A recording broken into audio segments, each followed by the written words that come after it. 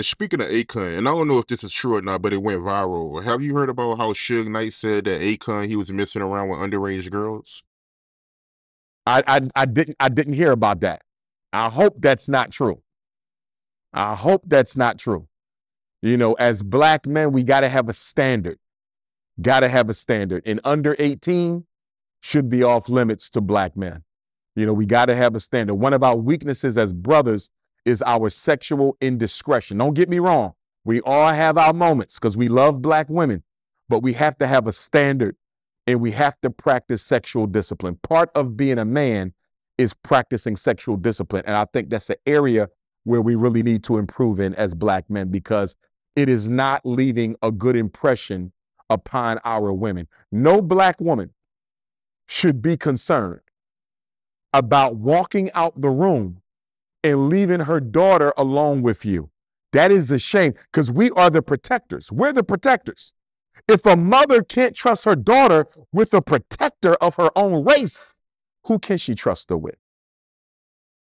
Now, with that being said, we do have, America has a major underground child sex market. I don't know if you know this, but black girls, 14 to 17, and some reports say 12 to 17, is the most desired sex toy of the pedophile industry.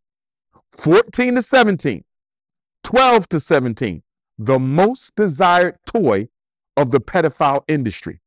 And the reason I'm bringing this up is because, as you know, our girls are being sexually desensitized at a very young age. And I don't like it because what it's doing is it's putting out an image that black women are sexually promiscuous. That's not a new image. It's been with us since the plantation. It's a lie. They made it up to justify the slave master raping our women by saying she wanted him to touch her.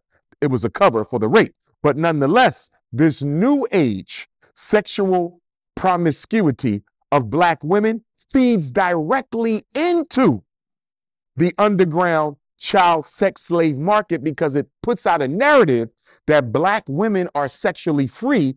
So it doesn't matter if they get kidnapped and sold into sexual slavery. We don't even need to look for them. We don't even need to bother with them because after all, they love to give up their coochie anyway. So I want black women to stop sexualizing their daughters.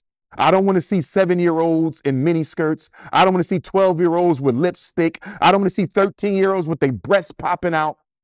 Black women have to stop sexualizing our daughters. Now, some of them are going to say white women sexualize their daughters. They might, but guess what?